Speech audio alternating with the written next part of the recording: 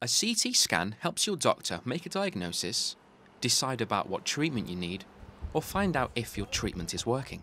Hiya, nice to meet This type of scan takes a series of x rays and uses a computer to put them together. then I'll come back to. Before your scan, you may need to drink either half a litre of water or a type of dye called a contrast medium. This helps to make the scan clearer. So you're going to feel a bit of sharp scratch. Before most scans, you have a small tube put into your vein which connects to a drip containing the dye. Again, this helps to show up the inside of your body more clearly on the scan. I need you lying up on the bed on your back, head on the pillow, feet that end, please. During the scan, the bed moves in and out of the scanner. will move in and out. You may find it a bit noisy. So shout if you have any problems. I'm just going to connect you up.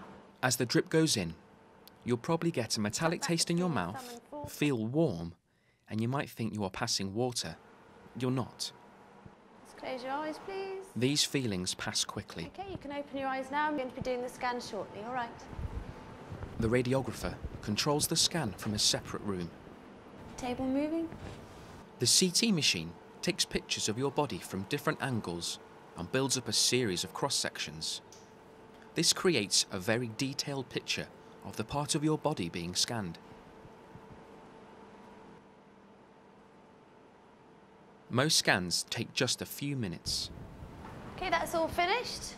The whole thing takes about 90 minutes, and you usually get the results within a couple of weeks.